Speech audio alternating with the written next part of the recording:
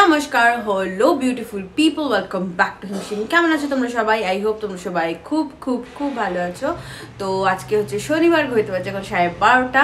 তো শনি, রবি আমি একটুখানি দেরি করেই উঠি আমরা। তো আজকেও দেরি করে উঠেছি। সকালে অ্যালার্মও বেজেছে, বন্ধ করে আবার শুয়ে পড়েছি। যাই হোক, তো কালকে রাত্রেবেলা সব জামা কাপড় আমি কেচে দিয়েছি, কারণ কালকে আমাদের ওয়াশিং মেশিনের সুইচটা ঠিক করে দিয়ে গেছিল।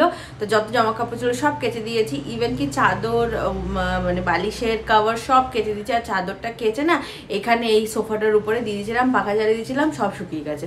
তো আজকাল আমি আর সেরকমভাবে ছাদে যাচ্ছি না, তো আমি কি করি, রাত্রিবেলা ধুয়ে মেলে দিই দুপুরের মধ্যে, বিকালের মধ্যে সব শুকিয়ে যায়। তো which is a good part কারণ প্রচণ্ড রোদ্র, প্রচণ্ড গরম তো তো তাই জন্য। তো আজকে লাঞ্চে আমি বানাবো বেগুনের ভর্তা মানে বেগুন পোড়া। তোমাদের সাথে রেসিপিটাও শেয়ার করে দেবো। অ্যান্ড এখন আমি ফটাফট করে আগে বিট গাজরের জুসটা খাব। তারপর ভাবছি একটা স্যান্ডউইচ বানাবো। নাও বানাতে পারি ডিপেন্ড অন মাই মুড তো দেখি কি করি, না করে আমার মনে হচ্ছে আমি আর বানাবো না। আমি সোজা এখন লাঞ্চই প্রিপেয়ার করে নেব। কারণ রিন্স এখন ওঠেনি, উঠে একেবারে ডিরেক্ট লাঞ্চই খাবে। তো ভাবছি এখন আর স্যান্ডউইচ স্যান্ডউইচ বানাবো না। দেখি কি করি, আগে বিট গাজরের জুসটা খেয়ে নিই।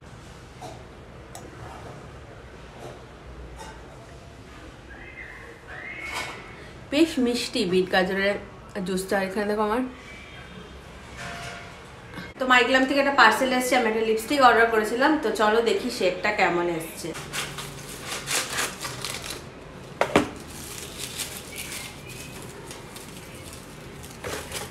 একটা ক্রেয়ন লিপস্টিক অ্যাকচুয়ালি আমি অর্ডার করেছি। আমার মাইগ্ল্যামের বক্সগুলো আমার প্যাকেজিংগুলো এত ভালো লাগে না, এত সুন্দর গোল্ডেন আর হোয়াইটের মধ্যে ওদের একটা প্যাকেজিং হয় আই রিয়েলি লাভ ইট তো এটা আমি খুলছি, তারপরে তোমাদেরকে বলছি। এটার শেড নাম্বার হচ্ছে কস, কসমোপলিটন অ্যাকচুয়ালি আমার অনেক দিন ধরে একটা লিপস্টিক চাই চাই করছিলাম। বাহ! বেশ সুন্দর দেখতে, এত কিউট লুকিং একটা, দেখো কি সুন্দর কিউট লুকিং একটা ইয়ে। আমি বললাম না ওদের এই হোয়াইট অ্যান্ড গোল্ডেন কালারটা আমার এত ভালো লাগে। আমি ভাবছি কোনো একটা রুমে হোয়াইট অ্যান্ড গোল্ডেন কম্বিনেশন রাখবোই। তো এইটা হচ্ছে লিপস্টিকের শেডটা আমি সোয়াচ করে দেখাচ্ছি তোমাদেরকে। খুবই প্রিটি একটা কিউট কালার অ্যাকচুয়ালি ক্যামেরাতে একটু ডার্ক আছে বাট একদমই লাইট শেড এটা। খুব সুন্দর একটা কালার তো এটা শেডটা হচ্ছে কসমোপলিটন এটা নিয়েছে হচ্ছে অ্যাকচুয়ালি সিক্স নাইনটি ফাইভ এটার প্রাইস বাট আমি ওই অফারে থ্রি হান্ড্রেড সামথিংয়ে পেয়েছি। তো ইয়েস এটা হচ্ছে এটা আমি ডেসক্রিপশন বক্সের লিঙ্কটা দিয়ে দেবো।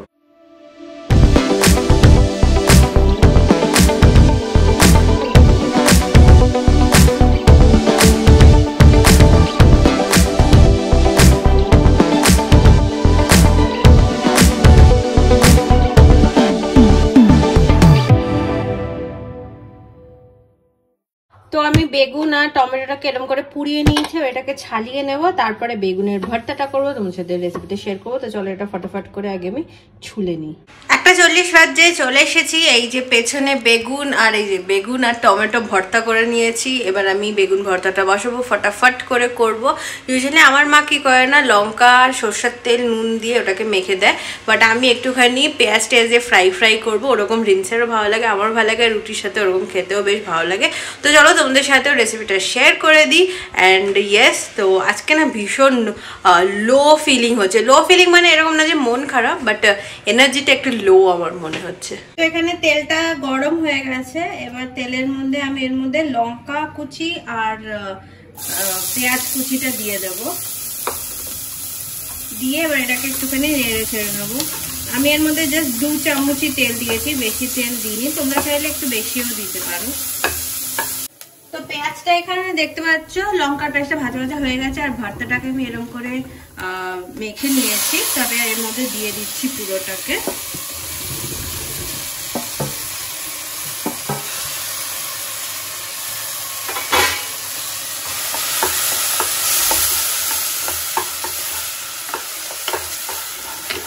এবার আমি এর মধ্যে একে একে সব মশলা দেব। তো ফার্স্টে দিচ্ছি এর মধ্যে নুন। তারপর এর মধ্যে দিচ্ছি আমি অল্প করে লঙ্কার গুঁড়ো। অ্যান্ড সামান্য একটুখানি আমি হলুদ দিচ্ছি। অ্যান্ড অল্প হাফ স্পুন এর মধ্যে আমি একটুখানি ঘি দেব। তো এতটা ঘি দিলাম এর মধ্যে। দিয়ে ওটাকে ভালো করে নাড়বো গ্যাসটা কিন্তু আমি কমিয়ে রেখেছি, গ্যাসটা বাড়াইনি, নালে লেগে যাবে। তো এবার এটাকে ভালো করে নেড়ে ছেড়ে নেব। এবার এটাকে ততক্ষণে আমরা মানে রান্না করব বা বিভিল কুক যতক্ষণ না এটার একটা কাঁচা মশলার গন্ধটা চলে যায়। তো আমাদের এখানে বেগুন ভর্তা কিন্তু একদম রেডি হয়ে গেছে, দেখতে পাচ্ছ? বেশ সুন্দর একটা ঘি ঘি স্মেলও বেরোচ্ছে। এবার এটাকে আমি অফ করে দেবো ইট আমাদের বেগুন ভর্তা ready very easy very simple বাড়িতে নিশ্চয়ই ট্রাই করো। এবার ডাবের জল খাব, তো চলো ডাবটা কেটে নিই। বেশ ভালো কালকেরটা ছিল আজকেটা দেখি কেমন হবে। চলে এসেছি, মিরার টক করব বলে, তো এই হচ্ছে আমার নারকলের জল। আজকে একটু কম কম হয়েছি ডাবটা না কম জল আজকে, কিন্তু বেশ মিষ্টি, আমি একটু টেস্ট করে দেখলাম। বেশ মিষ্টি খেতে। যাই হোক, আর আজকেরও ডাক্তার ভেতরে মালাই আছে, তো মালাই তো খাবোই খাব। আর রিন্সকেও দেবো। তো চলো, এবার রুটিগুলো বানিয়ে নিই, তারপরে একটু ডিমের অমলেট বানাবো, আর তারপরে খেয়াবো। তো চিয়াস আমার লাইফে জ্বালাতনের আর শেষ নেই। বেগুন ভর্তা বানালাম, বললাম ওটা দিয়ে রুটি খেয়ে না একে বলল, না, রুটি খাব না, রুটি খাব না। তারপর বলল, আমি রুটি খাব, কিন্তু বেগুন ভর্তা দিয়ে শুধু খাব না, ডিমের অমলেট খাব না। তো আমি, ও একটা অ্যাকচুয়ালি ডিম সিদ্ধ একটা ভুর্জি হয়, যেটা মা আমাকে বানিয়ে খাওয়াতো। তো একবার আমি ওকে ওটা বানিয়ে খাইয়েছি। তো এখনও ওটাই চাই। তো আমি পেঁয়াজ টেঁয়াজ টমটমটা সব কুচিয়ে করে নিয়েছি, ডিমটা সিদ্ধ হচ্ছে। তো হয়ে গেলে ওইটাও করব, ওটার রেসিপিটাও তোমাদের সাথে শেয়ার করে দেবো। সিম্পল একটা রেসিপি সিদ্ধ ভুর্জি আর কি, ডিম সিদ্ধর ভুর্জি। তো এটাই, আর বেগুন ভর্তা তো করে নিয়েছি। তো চলো ততক্ষণে আমার কিছু লিপস্টিক আছে যেগুলো শুকিয়ে গেছে যেগুলো ফেলে দিতে হবে। তো ওইগুলোকে একটু শর্ট করে নিই। এই হচ্ছে আমার পুরো লিপস্টিকের কালেকশন মানে লিপস্টিক আর কি।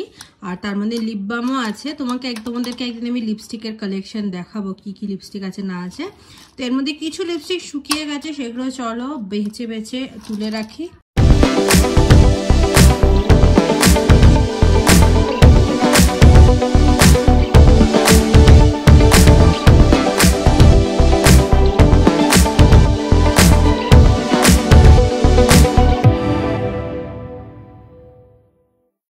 তো এইগুলো সব ড্রাই হয়ে গেছিল আর এইগুলো সব ভালো আছে। লিপস্টিক যখন একটাও ফেলতে হয় না, মনের ভেতরে আমার প্রাণ যেন কেঁপে ওঠে। সত্যি কথা বলতে এক্সপায়ারি হয়ে গেলেও বা শুকিয়ে গেলে যখন ওকে কোনো লিপস্টিক ফেলে দিতে হয় বা শেষ হয়ে গেলে I get so much emotional যে কেন ফেলে দিতে হচ্ছে? এটা নেভার এন্ডিং লিপস্টিক কেন না? তো চলো গিয়ে এবার ডিম সিদ্ধ ভুর্জিটা ফটাফট করে বানিয়ে নিয়ে তোমাদের সাথে রেসিপিটাও শেয়ার করে দিচ্ছি। দেখেছ, দুদিন ধরে দুটো করে রেসিপি শেয়ার করছি তোমাদের সাথে। তো তোমরাও বাড়িতে ট্রাই করো নতুন নতুন জিনিস। আমার কড়াইতে তেল গরম হয়ে গেছে। এবার এর মধ্যে আমি অল্প করে দিয়ে দেবো সাদা জিরে ফোড়ন। তো সাদা জিরে ফোড়ন দেওয়া হয়ে গেছে। এবার এর মধ্যে আমি দিয়ে দেব পেঁয়াজ কুচি আর লঙ্কা কুচি। তো চলো দিয়ে দিই।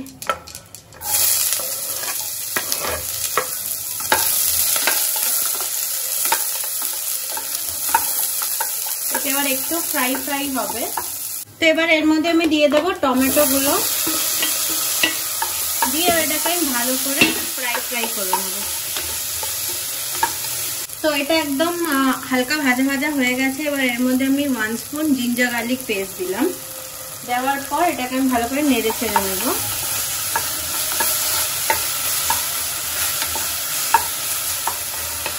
এবার এর মধ্যে আমি দিয়ে দেবো একে একে গুঁড়ো মশলা। তো এর মধ্যে আমি দেব অল্প করে হলুদ রেড চিলি পাউডার অল্প একটু কোরিয়ান্ডার পাউডার নুন দেব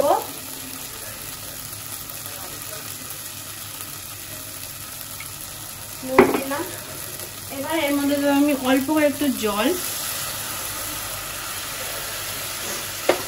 এবার আমি মশলাটাকে কষতে দেবো।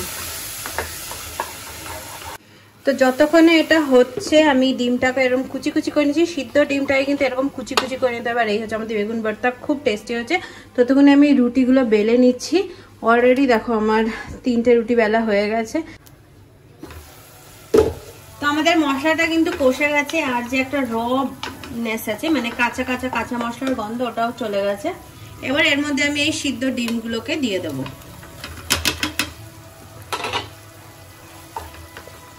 এবার এটাকে আমি ভালো করে নেড়ে ছেড়ে নেব। এবার গ্যাসটা একটু বাড়িয়ে দেব। এটা হচ্ছে ডিম সিদ্ধর ভুর্জি। যখন আমরা ছোটবেলায় ডিম সিদ্ধ খেতে চাইতাম না না, তখন মা এরকম করে ভুর্জি বানিয়ে দিত। তো এই হচ্ছে আমাদের ডিম সিদ্ধর ভুর্জি। বেশ কুসুমটাও একশো মিশে মিশে একটা সুন্দর একটা গ্রেভি হয় না, কি বলব? তবে এটা সুন্দরভাবে, আর একটু রান্না হবে, তারপরে বন্ধ করে সার্ভ করে দাও। তো হয়ে গেছে, ভীষণ টেস্টি হয়েছে। বেশিক্ষণ লাগে না জাস্ট দশ মিনিটের রেসিপি এটা। তো চলো এবার গ্যাসটা অফ করে দিই। এবার রুটির সাথে এটা, পরোটার সাথে, লুচির সাথে বেশ ভালো লাগে খেতে। তো এই হচ্ছে আজকে আমাদের লাঞ্চ রুটি, ডিম, সিদ্ধ ভুর্জি, আর এখানে বেগান কাবারটা। দুটোই খুব ভালো হয়েছে, দুটোরই রেসিপি শেয়ার করেছি, তোমরা নিশ্চয়ই বাড়িতে ট্রাই করো। আমি লাঞ্চটা করে নিই জিপ থেকে জল বেরিয়ে যাচ্ছে, এত টেস্টি হয়েছে।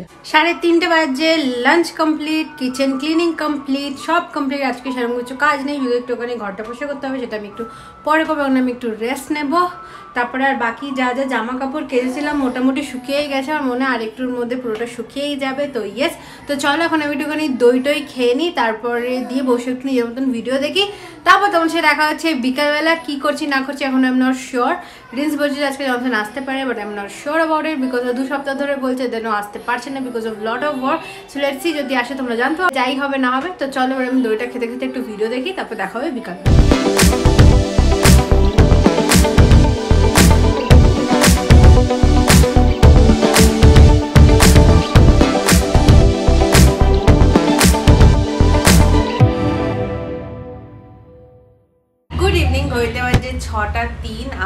চা নিয়ে চলে এসেছি। তিন, চার দিন ধরে চা খাচ্ছি না না, শরীরটা কীরকম একটা করছে যে চা নেই জানি।